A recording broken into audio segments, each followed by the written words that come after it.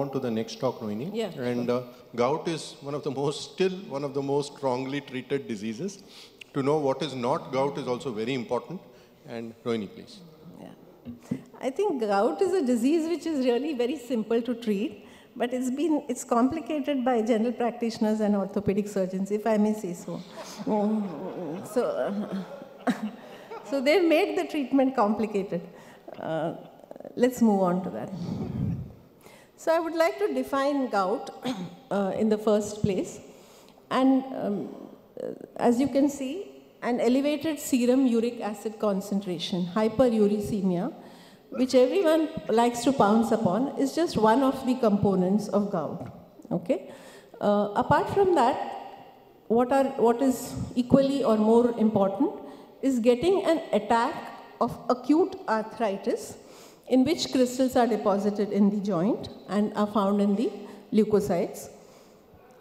As the disease advances, one may have aggregates of these crystals, which are called tophi, and also extra articular deposition of urate crystals, whether it's in the glomerulus, the tubules, or the interstitial tissue, uh, causing problems with uh, increased creatinine and uh, also uric acid nephrolithiasis or stones uric acid stones which contain calcium and uric acid.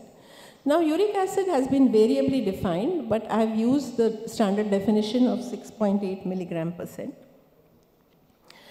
Now this is just to bring to your notice that uh, there are four stages through which a person with gout passes through, not necessarily uh, so, but this is just a general rule of thumb. So asymptomatic hyperuricemia, then an acute flare of gout, intercritical gout in which there may not be too many symptoms, and then advanced gout with complications. Now, as rheumatologists and orthopedic surgeons, we face uh, the acute flare of gout. We look at gouty tophi, patients with gouty tophi, and of course, asymptomatic hyperuricemia. so, uh, before we look at what is not gout, I would just like to take you through a few clinically oriented EULAR recommendations for the diagnosis of gout.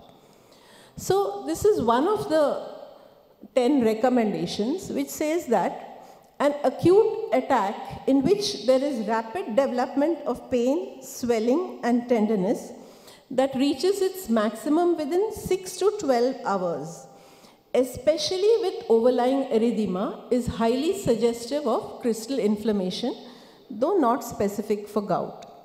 Now here, the pictures show you that this acute pain and swelling can occur in the joint or in the bursa or sometimes even in an enthesis. But it's important we take this history that how soon did it develop? Was it a few hours? Was there overlying redness? And uh, very acute, severe pain. So this is what we need to ask before we consider that this patient has gout. And continuing with this recommendation, for typical presentations of gout, I showed you a picture of podagra. In the presence of hyperuricemia, one can make a clinical diagnosis. It can be accurate to say that this patient has gout. However, for a definitive diagnosis, uh, a, a, demonstration of urate crystals and synovial fluid is necessary. So then what is not gout, even if there is hyperuricemia? So uh, the problem with all of us is that, you know, we have these panels which contain, whenever someone has arthritis, there are panels which also do uric acid. Okay? And one finds a uric acid of 7 and this patient has some sort of joint pain. Okay? And we, as often as orthopedic surgeons, often start treating that hyperuricemia as gout. When the patient has a monoarticular joint pain, which mind you is characteristic of gout, but which develops over days and persists for days to months this is unlikely to be gout. So any joint pain which persists for a month or so is unlikely to be gout, even if it is monoarticular. Second, this is more obvious, but I'm uh, sort of reiterating my point that if even if there is hyperuricemia on the report, but the patient has polyarticular pain and swelling, it's unlikely to be acute gout. So these are the differentials that one needs to consider in this setting.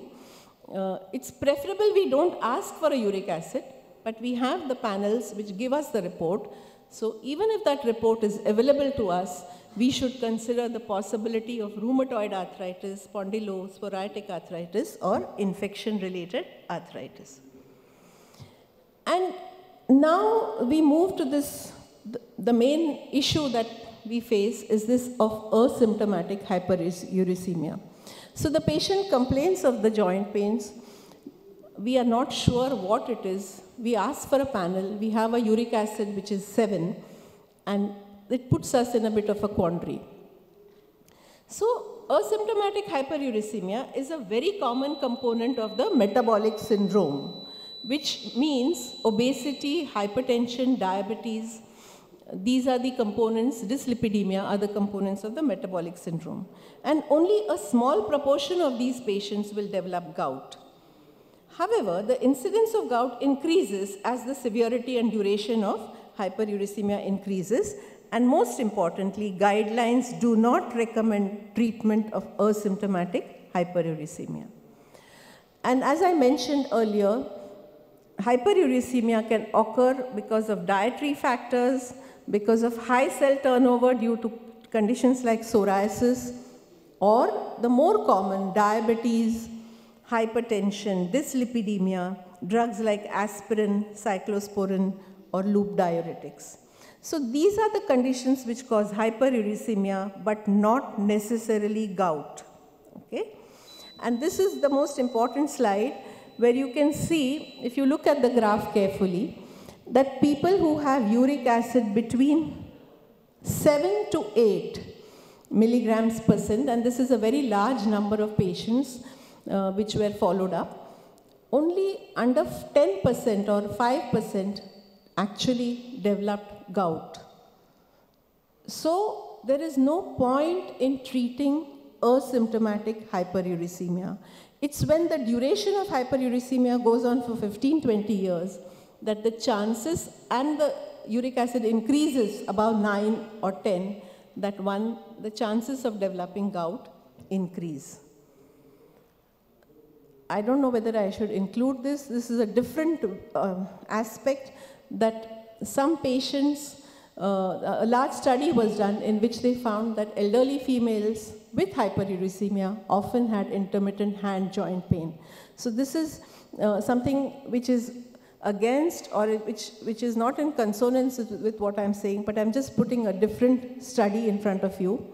And the last is that chronic gout can mimic polyarticular rheumatoid arthritis. So this is just a bit of information on the side, but what I said earlier is that asymptomatic hyperuricemia really needs no treatment and uh, the conditions, uh, we, we may address some dietary advice or exercise, but nothing beyond that. And thanks for this opportunity to be again in person with all of you. Thank you.